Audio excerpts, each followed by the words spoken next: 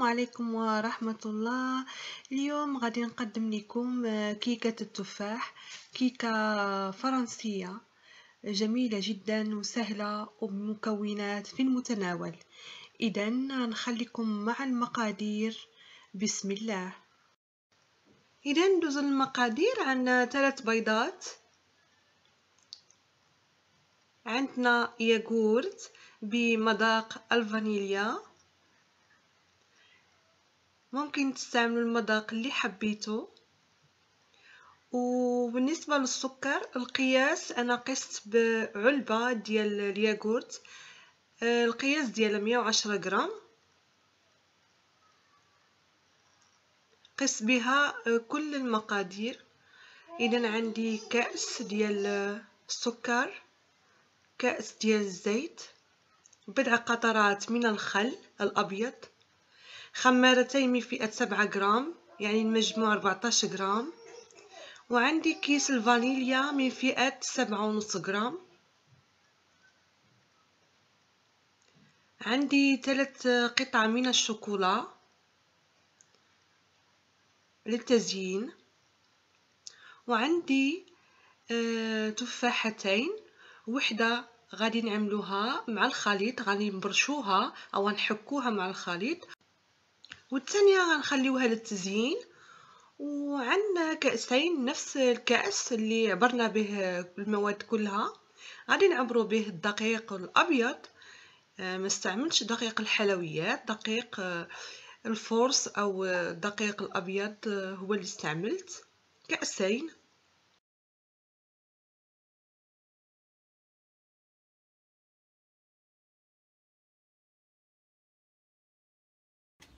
غادي ندوزو نضيفو السكر الآن.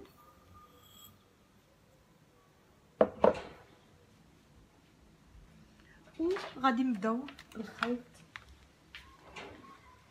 غادي نخلطو السكر. هو الأول.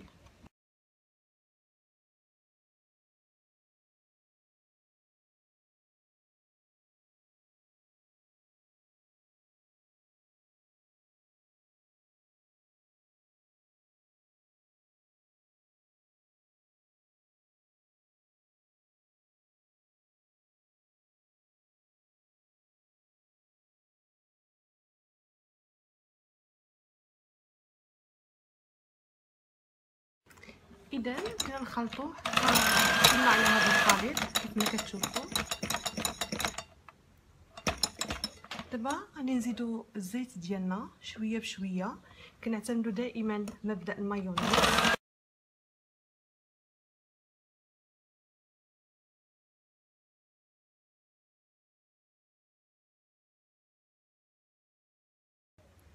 اذا الآن غادي نوضعوا الياغورت ديالنا.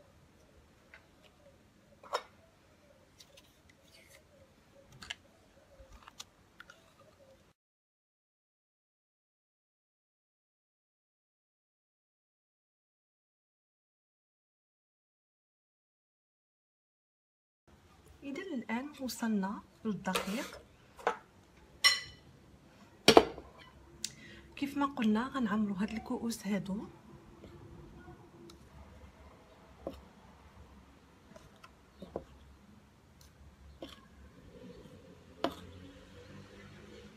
الثاني ما كنملئوهش بزاف. اذا كنديروا الخميرة.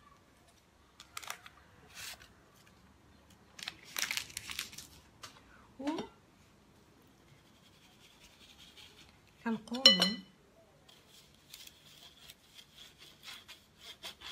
بتصفيه الدقيق باش ما يعطيناش واحد الحبيبات في الخليط.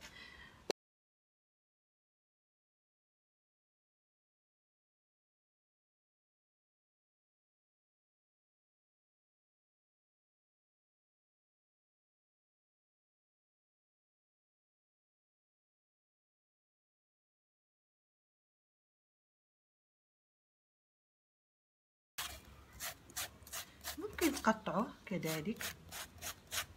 ماشي مشكل. آه اذا كنتوا غادي تعط يعني تقشروا التفاح. أثناء آه قبل ما ما نبداو في الكيكة فكنصحكم أنكم ديروه في الحامض أو في الليمون. عملوه في الليمون باش ما يتأكسدش ويكتسب اللون الأسود والنكهه ديالو كتولي ماشي زوينة. هنا كيجي بحال مطحون بهذه الطريقة هذه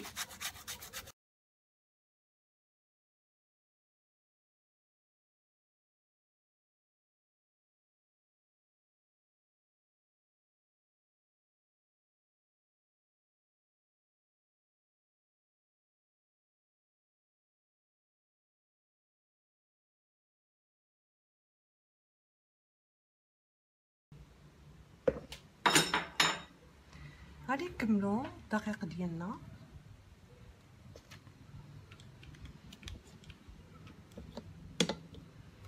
وغادي نضيفو الخميره الثانية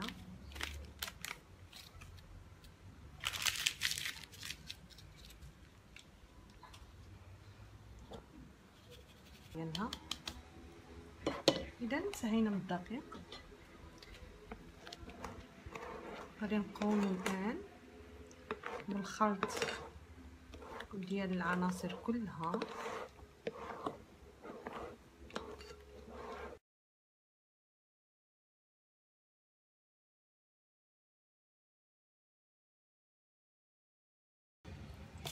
اذا بقى لينا آه الفانيليا. كنخليوها حتى الآخر وكنحركوها باش كتعطينا ديك المذاق الزوين ديال الفانيليا. وكنوضعوا بعض القطرات تقريبا عشرة ديال القطرات ديال الخل. كيزيد الارتفاع ديال الكيك ديالنا.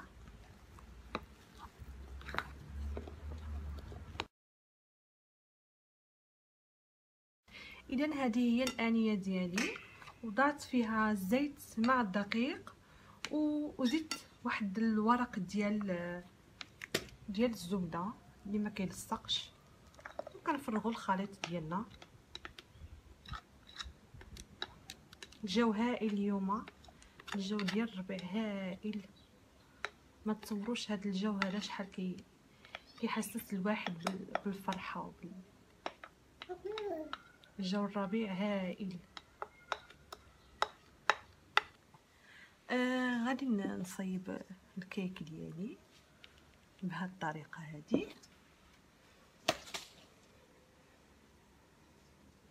بهذه الطريقة هذه كنجيب التفاح ديالنا اللي قطعناه على هذا الشكل هذا هلالي.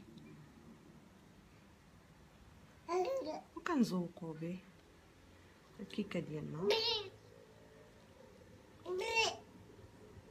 كيكة التفاح. الهائل إذا كنكملوا التزيين ديالنا بهذه الطريقة هذه وكندخلوها على فرن مسخن مسبقا على 180 درجة. كنخليوها لمدة 20 دقيقة. وإن شاء الله كل ما تشوفوها نتوما تحمرت هي كطيب من تحت ومن الفوق عندي أنا. في فرن الكهرباء. إلا ما كانش فرن الكهرباء وكان فرن الغاز كنطيبوها الفوق. حتى كتطلع عادي كنهبطوها تحمر من تحت. إذا هذا هو الكيك ديالنا. بعد ما جبدناه من الفران.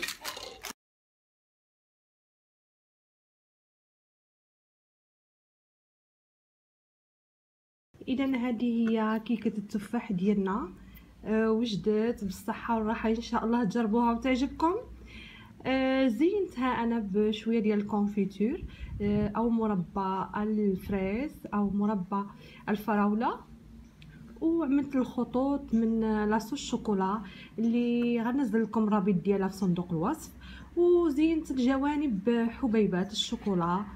آه إن شاء الله تنال إعجابكم وترقكم وتجربوها راها سهلة بزاف ولذيذة بنينة بزاف. اذا آه نخليكم في وصفة أخرى إن شاء الله. آه، مع المزيد والمزيد من الوصفات السهلة والبسيطة. في أمان الله. إذا ملي كنقطعوها كنحصلوا على هذا الشكل هذا. كتشوفوا كتجي معسلة كتجي لذيذة لذيذة بزاف لذيذة بزاف.